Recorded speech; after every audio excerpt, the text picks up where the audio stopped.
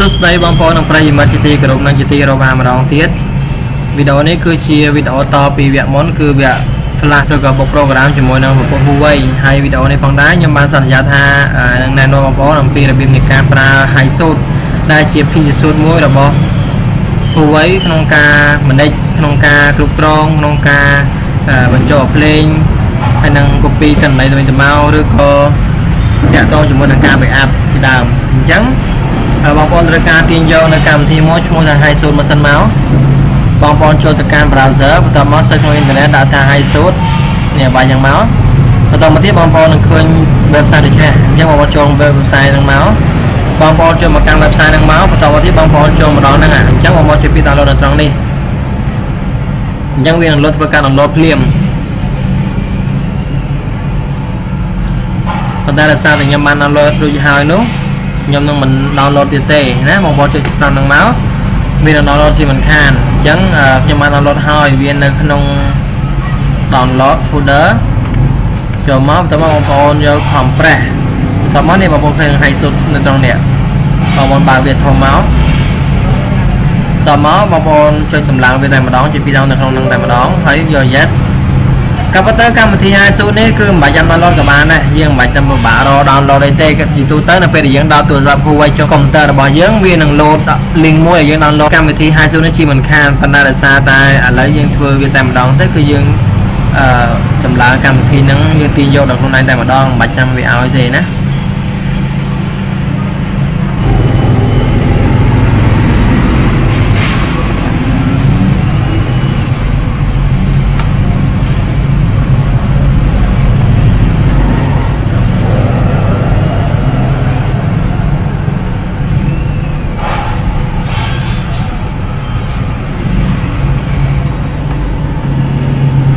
ខេយើងបានដំឡើងហើយបងប្អូនពីទីនេះមកបន្តមកទៀតយើងបានកម្មវិធីមួយដែលមានរូបរាងហើយនឹងឈ្មោះថា Hi Su ដូចនៅក្នុងនេះគឺជារូបព្រួញទៅបុកទៅបុកមកណាអញ្ចឹងយើងជួយបើកវាតែម្ដងទៅបន្តមកទៀតបងប្អូនដោតដោយទូរស័ព្ទបងប្អូនហ្នឹងទៅអូខេខ្ញុំសូមដោតអូខេនៅពេលដែលបងប្អូន connect ហើយបងប្អូនត្រូវមើលនៅក្នុងទូរស័ព្ទវានឹងមានអឺជំរើសឲ្យយើងជ្រើសច្រើនណាអញ្ចឹងបងប្អូន រើសមកខ្ញុំសុំបង្ហាញតែម្ដងអូខេនេះនៅពេលដែលយើងដល់ហើយវានឹង load អញ្ចឹងអញ្ចឹងបងប្អូនត្រូវជ្រើសរើសនេះ PC suite ឬក៏ high suite ហ្នឹងយើងជ្រើសយកហ្នឹងមក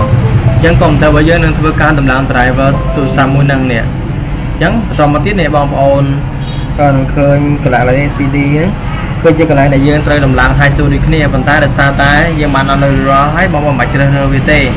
ប៉ុន្តែសម្រាប់បងប្អូនដែលអត់បានទាញយកនៅកម្មវិធីហ្នឹងបងប្អូនអាចធ្វើការទាញយកតាមទូរស័ព្ទដៃផ្ទាល់តែម្ដងអញ្ចឹងនេះវាមានអាប់ដេតថ្មីមួយទៀតអញ្ចឹងយើងអាចអាប់ដេតវាបានណាយើងអាចអាប់ដេតវាបានព្រោះថាសេរីថ្មីថ្មីរបស់ Huawei វានឹងមិនត្រូវការ version ចាស់ទេអញ្ចឹងបើសិនជា high source របស់យើងហ្នឹង version ចាស់ប្រហែលជាវាមិន support ទៀត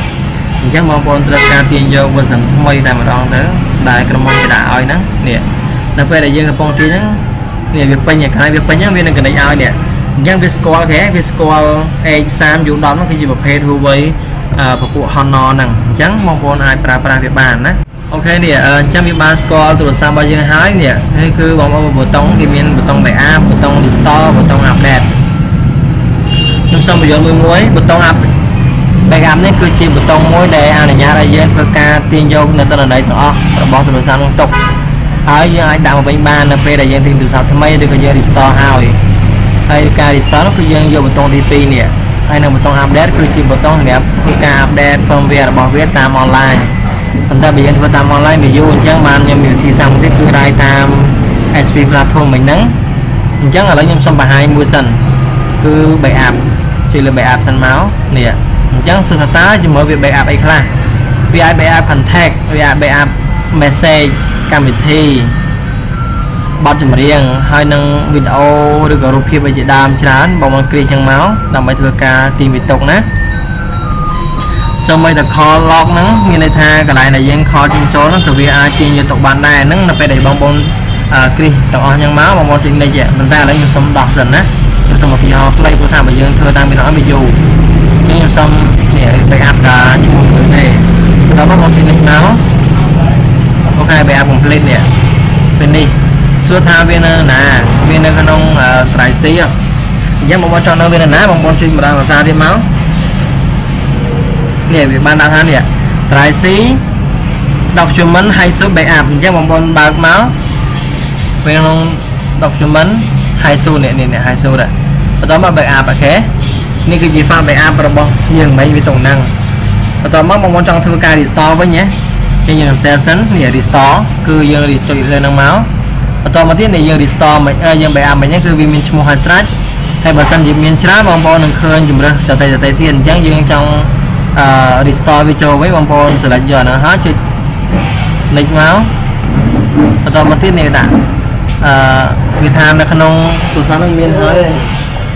អញ្ចឹងយើងត្រូវធ្វើការ replace វា OK យើងចុច OK មកដល់សារតែវាមានហើយនេះ OK វារត់ restore backup ចូលទៅវិញអញ្ចឹងណា គេនេះគេដាក់ restoration complete ងាយស្រួលទេ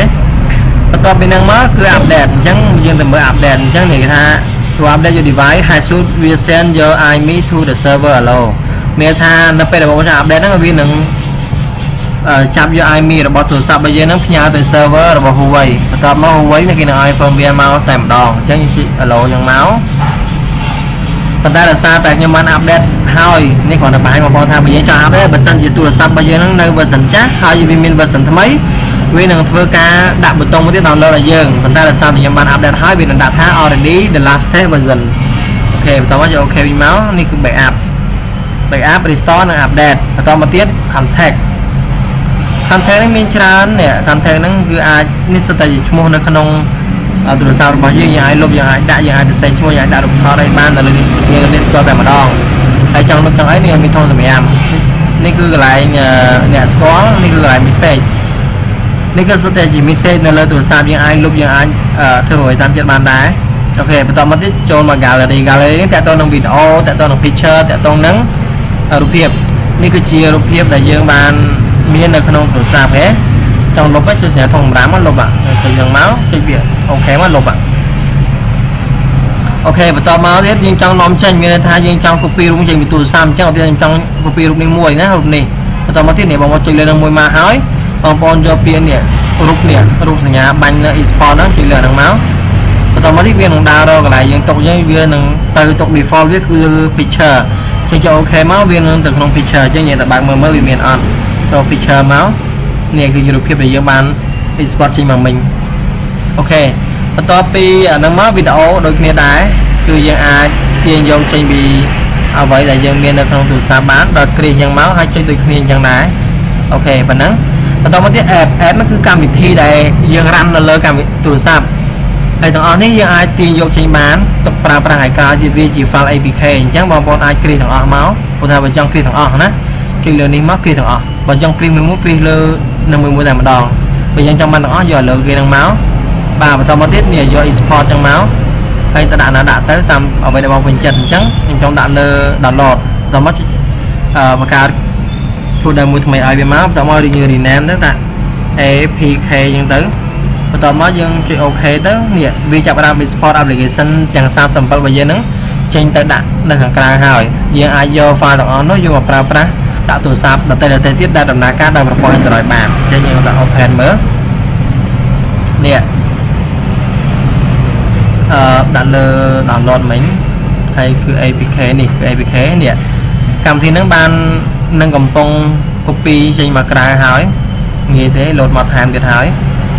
អូខេអញ្ចឹងខ្ញុំសូមចុចខ្វៃវិញដោយសារតែខ្ញុំអត់ចំណាយពេលយូរទេបន្ទាប់មកទៀតនេះគឺជាកម្មវិធីដែលយើង download ចេញពីអ៊ីនធឺណិត ប៉ុន្តែសម្រាប់កម្មវិធីរបស់ system នៅខាងនេះនេះ system